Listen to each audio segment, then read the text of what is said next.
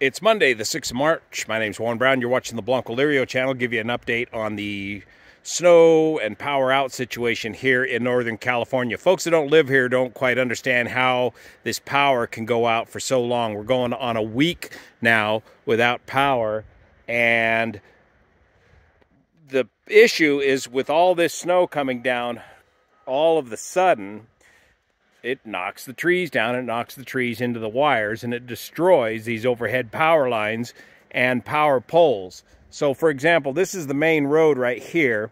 This is the main line coming up the road. This line, hello, doggy, this line is powered. They got this line fixed. However, all the circuits coming off of this main line, like this circuit right here that goes to our house, is not fixed yet. So they're doing some work on this circuit down the road towards our house that will maybe get the power back on in a day or two more. So that'll be more than one week without power here at the 3,200 foot elevation just outside of Nevada City, California. So some questions were being asked about how do you guys deal with this power out situation? And as long as you're prepared, it's not that big a deal. Let me show you around a little bit growing up on the tree farm a couple miles away from here, we lived down a three quarter mile long dirt road. And so we would get snowed in and stuck for days and weeks at a time. But up here, we've got county pl plowed roads. That main road gets plowed fairly quickly, and these secondary roads, they finally just now got plowed the other last night all the way down. But as long as you have a four wheel drive car and you're able to get out of your driveway, you can get rolling pretty quick. So right here is one example of uh, Yaya's house where I've been working on keeping the driveway clear so that we could get out. So Jenny and the kids are off to school today. But one of the problems quickly becomes where do you put all the snow and where do you park the cars? Here's one of these little bobcats that have been a big help in getting driveways cleaned out.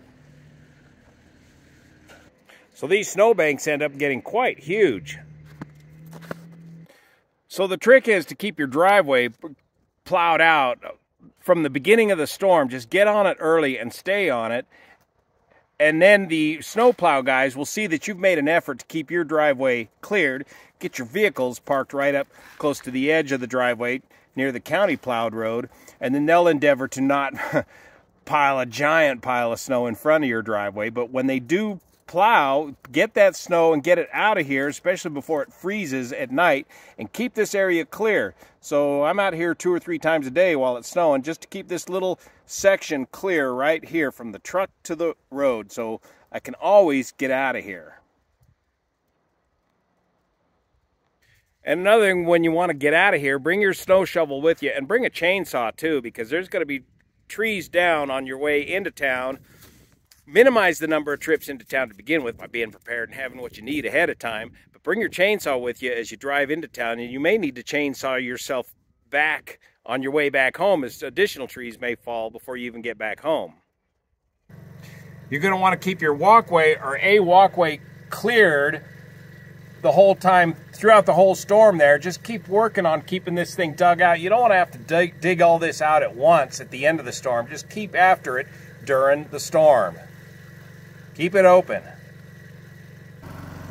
Back here at HQ, it's the little Honda 2200 generator that I like to run in the morning and then in the evenings and then turn it off at night and have plenty of fuel saved up or on board to keep this thing running. You can run it pretty much all all you need to during the day for about a gallon of gas per day. You don't leave it running all night, just just when you need it. And speaking of fuel, I like to use a mixture of 100 octane from the airport. It's easier and quicker for me to get to the airport to get gas with some 100 octane. That fuel stores better than auto fuel.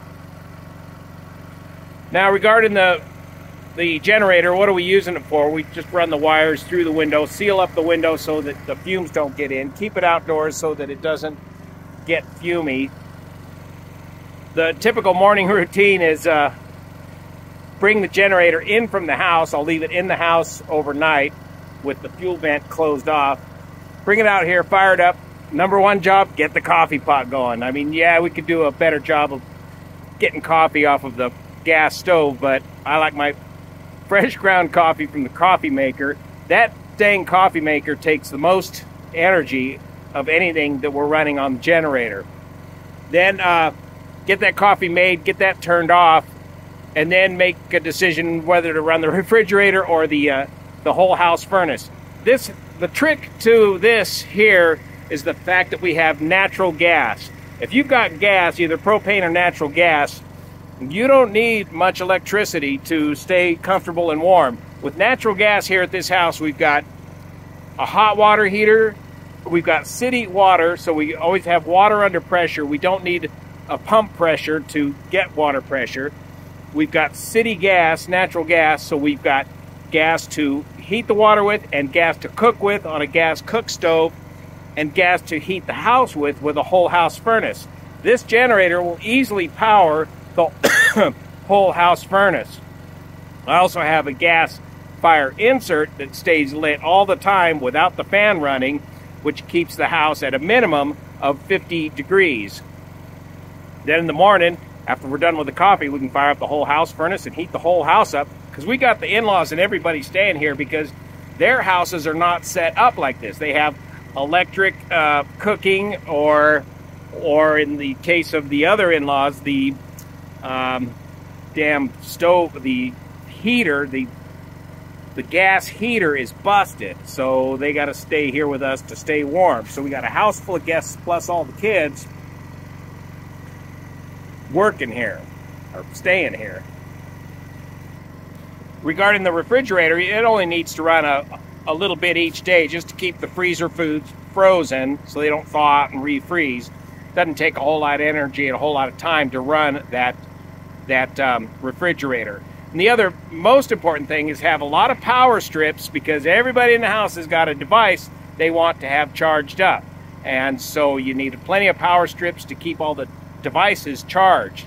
Regarding online capability, of course, cable TV, all that is shot, but what has come through very well during this is the Verizon wireless service has worked throughout this whole emergency here, and we're able to get plenty well, plenty of limited connectivity through the Verizon service and the use of hotspots. So make sure you have the hotspot capability on your Verizon if you want to get a laptop computer or something running using your hotspot off of your cell phone.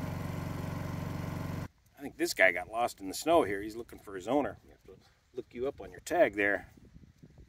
So regarding this weather, we've had uh, four big storms roll through here. Uh, about 40 inches of snow here at the 3,200 foot elevation. Now we've got this cut-off low just circulating off the coast of uh, Oregon there that just keeps pumping these showers, these nuisance showers, uh, snow showers into the area. So it's not really adding a whole bunch of snow, but it's preventing this snow from melting.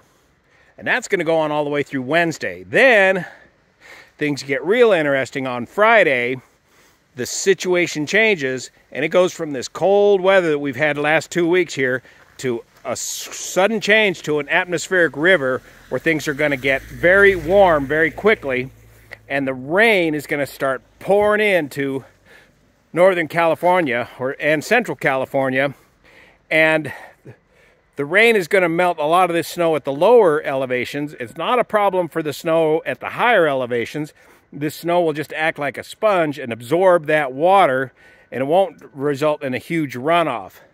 But the runoff the lower elevations could be substantial. But the problem is going to be you add this you add this uh, water to these snow loads on these roofs and that's going to start getting very heavy. The the code around here, these roofs are designed, well, these are older houses, so I'm not sure what design criteria they used at the time. But right now, the design criteria is about 60 pounds per square foot. Right now, we're looking at about 45 pounds per square foot. So we're okay on the snow loads on these roofs at the moment. But if if they absorb a whole lot of water from this coming rain, that could be a problem. Meanwhile, our local airport's completely closed. They are getting the runway plowed. It's kind of the last of the priorities. They got to get these roads done first before they start messing with that runway. but the hangars are all blocked off considerably from the snow. Uh, a lot of the snow's falling off the roof and blocking the hangar doors. I'll post a little video clip showing how I got into the one hangar, but it's going to be quite some time before we're ever going flying again out of Nevada County Airport. So hopefully power back on this circuit uh, tomorrow or the next day and we'll be back in business. But as long as you're prepared and keep these areas clear during the storm, you've got fuel for your generators, you've got some sort of natural gas or propane gas and plenty of it for your house and or to run your generators. As long as you're prepared, these sort of weather conditions should not be that big of a problem for you. But if you're elderly and you can't move this, you can't physically do this kind of work, you got to reconsider whether this is the kind of area you want to live. Thanks so much for your support of this channel, especially the folks over on Patreon that make this content possible. See you here.